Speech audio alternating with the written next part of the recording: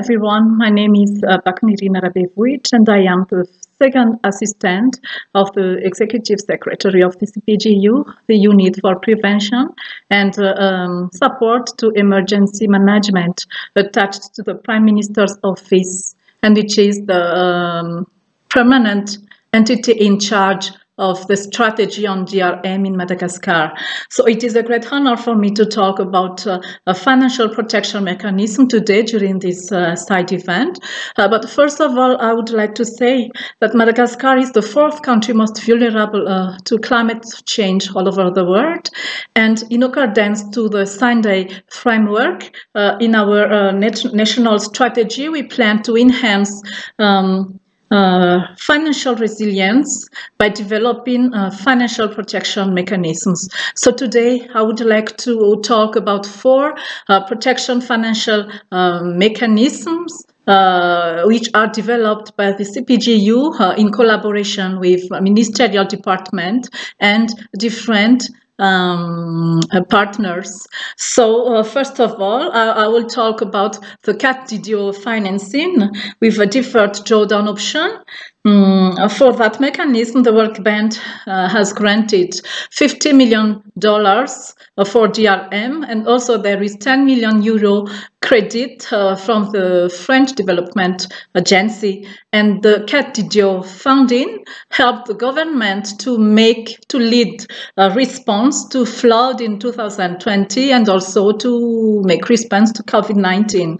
But uh, this DDO mechanism uh, is based on uh, conditions which are linked to some reforms, such as uh, institutional strengthening on DRM, uh, strengthening financial resilience and infrastructure resilience, and also integration of climate resilience into sectoral development policy.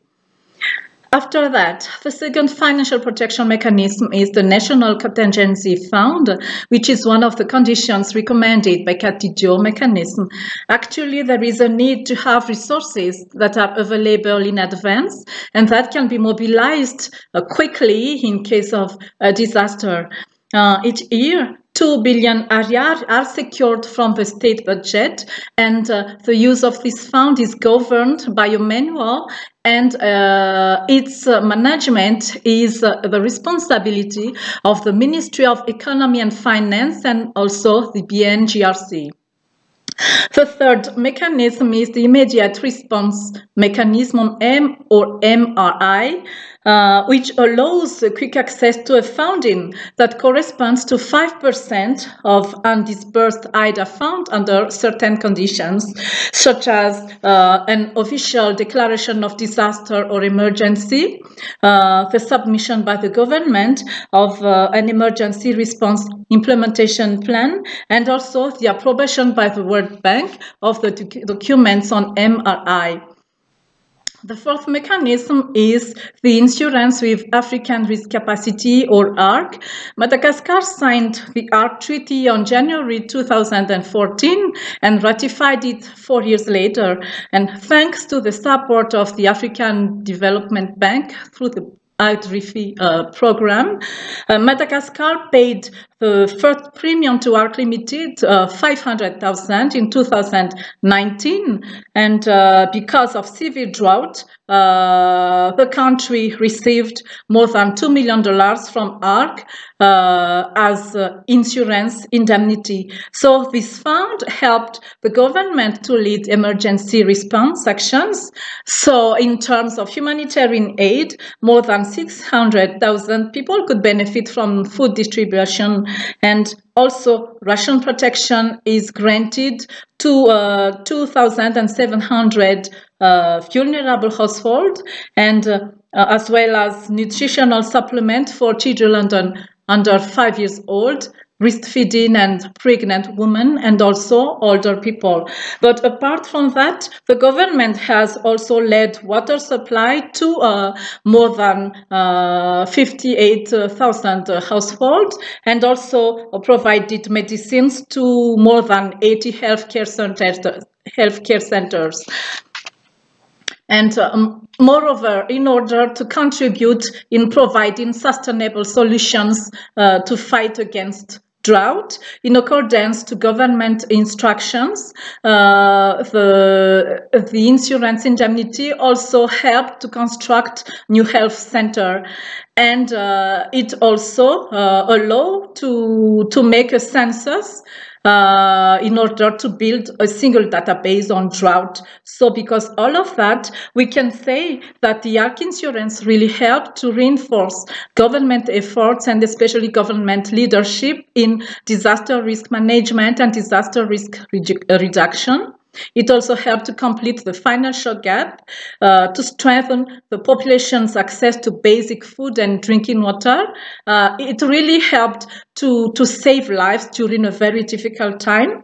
And apart from that, the indemnity insurance also contributes to reduce the vulnerability, to strengthen resilience, to strengthen the physical capacity of work labor, uh, workforce, and also to contribute uh, to the implementation of sustainable solutions. Um, apart from that, I would like to say that Madagascar is still the only African country that has subscribed to two types of uh, uh, insurance with ARC, because since 2019, Madagascar has also subscribed to the tropical tropical cyclone insurance, but up to now, there is no disbursement yet because of the absence of severe cyclone.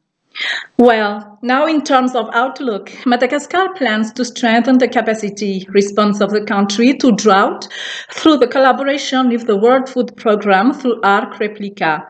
The government strategy uh, to fight against drought consists of combining emergency response to resilience activity in order to really promote uh, the sustainable development. So uh, this brings me to end to the end of my speech. Uh, thank you very much for your attention.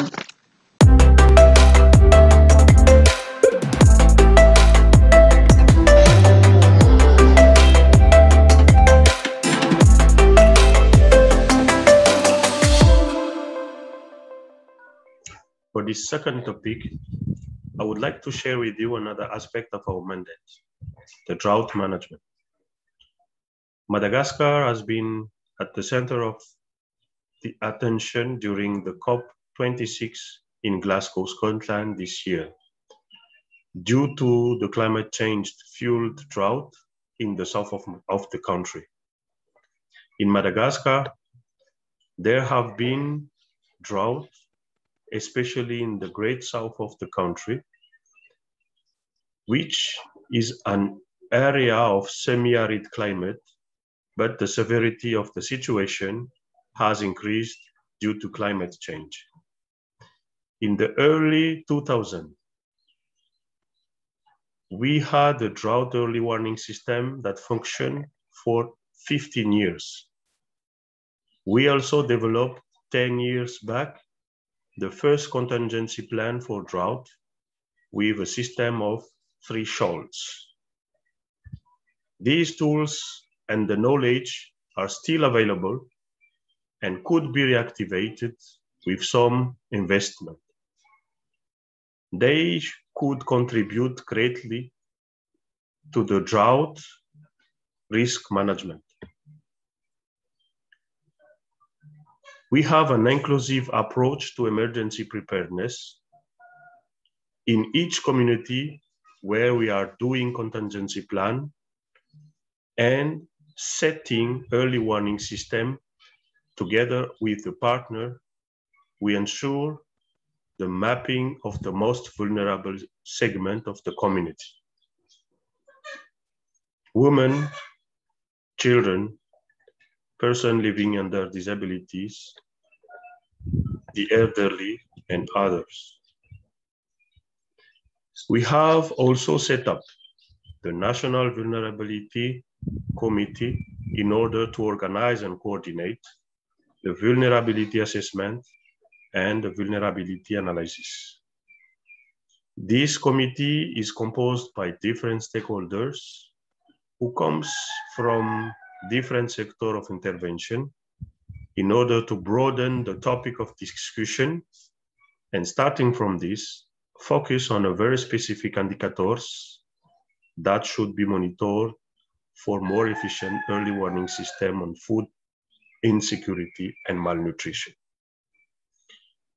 One of the tools that we have been implementing in Madagascar is the household economy analysis, which is a livelihood-based framework for analyzing the way people obtain access to the thing they need to survive and prosper. The same for IPC, which stands for Acute Food and Security Classification, and which provides strategically relevant information to decision maker that focuses on short-term objectives to prevent, mitigate, and decrease the severe food insecurity that threatens life and livelihoods. At this moment, since October 2021, the BNGRC, to which I uh, belong to, has been appointed by the government to do the coordination of all emergencies response led by all the stakeholders in the great south of the country and make sure that we have a specific consideration on the link between emergency, reco emergency recovery, resilience, and development. DRR has to be considered in every step of cycle of the cycle of disaster and risk management. That's why not only it is important to have to have it mainstream in every sectorial plan and program, and also development plan, strategy, and program. As the main department in charge of coordinating and implementing the national strategy of disaster and risk management, the BNGRC is then really engaged on improving what has been already done in order to help these localities that have been suffering of consequences of drought to recover as soon as possible from these years of problems of uh, food insecurity and malnutrition adopt and conduct proactive approach for enhancing drought resilience of local community. Thank you very much.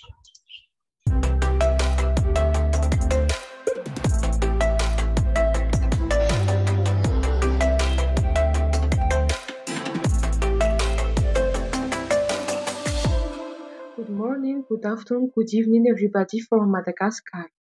Manahoana daholo tompoko. It's a great honor for me to speak with you today on the occasion of this 8th Africa Regional Platform for DRR to briefly introduce and develop Madagascar and DRR, or National Platform for Disaster Risk Reduction. Madagascar is a great island situated in the southwest of Indian Ocean. It is the fourth most vulnerable country in the world to climate change and the first country most exposed to natural hazards like cyclone, flood, and drought, the Eastern Africa. The impacts of disaster are increasingly significant and are expected to increase with climate change. To better manage risks, the DRM structure in Madagascar has been split into parts. On the one hand, there are the operational structure, which is headed by the BNGRC, in charge of emergency response. And on the other side, we have a strategic structure where there is first the CNGRC, the National Council, secondly the CPGU, and thirdly the NPR. In recent years, due to its multidisciplinary as well as cross-cutting nature, the importance of DRR has been increasingly recognized as multi-sectors and multi-hazards. Previously, Madagascar focused on ex-post response activities to deal with these disasters.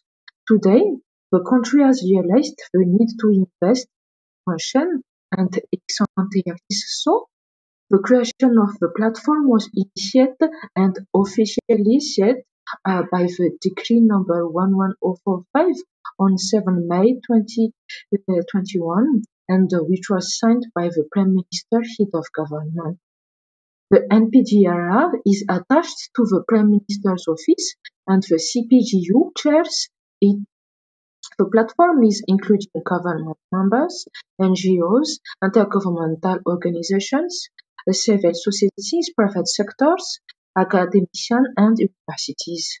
In all sectors, both public and private, in strategic frameworks and sectoral policies as well as in the development of various projects countries exposed to risks and natural hazards. This is why GRR becomes everyone's business. We must also recognize that only a person, a population and a country resilient to various hazards and their consequences can afford to lay the foundation for sustainable development. The platform regularly brings together all stakeholders and actors in PRR to advocate for this area at the strategic level. The platform's activities are mainly focused on strengthening coordination and synergy in PRR, as well as promoting resilience. In brief, the platform was created to be a space for exchange, capitalization, cooperation. The operationalization of this platform constitutes a commitment for the government for its institutional strengthening of GRM and GRR. Its realization will allow us to move, to move forward and to continue to benefit apart from the CAT DDO, a mechanism according to an agreement concluded the World Bank and the French Development Agency in 2019, and therefore expects in the near future the country collaborations expansion of partners all this to tell you that the creation of this DRR is the continuation of efforts undertaken by the government and also the concretization of its commitment within framework of the strengthening of GRM and DRR because in fact this NPGRR is one of the key players in the implementation of actions and activities outlined in Sendai frameworks from 2015 to 2030 for Madagascar. Uh, I also take this, this opportunity to share you and remind the government's in the fight against drought the great south of Madagascar, which invites all stakeholders, national and international, to pool their efforts in order to find together lasting solutions aimed at combating uh, emergency actions resilience activities in order to achieve the objective of real development in a sustainable manner. So, ladies and gentlemen, brief, the future of the next generation for Madagascar lies in our hands. The time is now let's work together and converge our efforts against disaster, climate change, and the pandemic of COVID-19. Let's start our challenge adapting for vulnerable island with strong economic and natural potentials like Madagascar. Thanking you already for your your consideration of island states and especially to the importance that all of us do for DRR at all levels. With that, ladies and gentlemen, for your attention.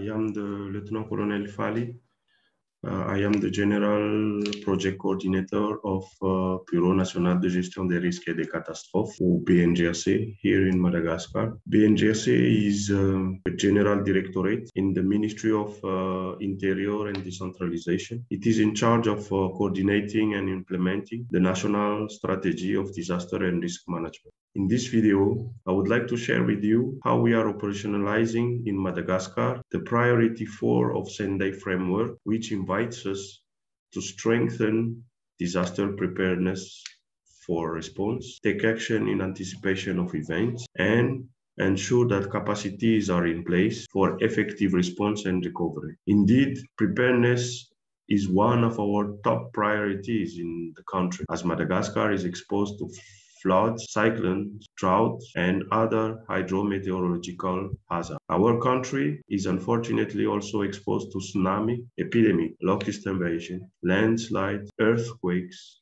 and so on and so forth. Review and test the contingency plan is currently happening for cyclone and flood in these months of November and December. Institutional department, UN agencies, NGOs, private sector, specialists of communication, volunteers, and other partners are together reviewing and updating the national contingency plan, the prepositioning of stocks, of stock, and the sensitization campaign with communities. The contingency plan is a key operational document which once activated, help the BNGRC and the authority to better coordinate the multi-sectorial response and better prepare the early report. For the last five years, for example, we activated twice the national contingency plan for floods and cyclones. First, in March 2017, with the tropical cyclone in Enawo,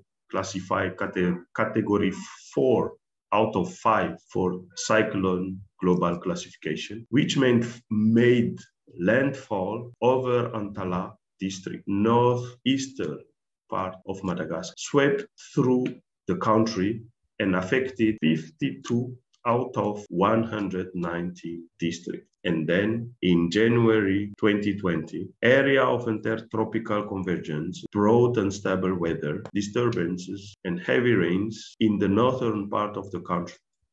It caused not only widespread and deadly flooding in the in this part of the country, but also localized flood and landslides in Alaotra-Mangoro, Analamanga, Betsiboka, Boeny, Melaky, and Sofia region. This situation invited us to activate the National Contingency Plan, which integrate the involvement of all the stakeholders under the leadership of the government of Madagascar. Our contingency plan on cyclone and flood is based on a specific scenario, which are updated every year. It is elaborated with early warning system, existing capacities, coordination mechanism to be respected, and SOP SOPs for each cluster and stakeholders. We make sure that all stakeholders keep in their mind that every sectorial response to be conducted in case of emergency now in Madagascar should take into consideration that we are still in the context of COVID-19.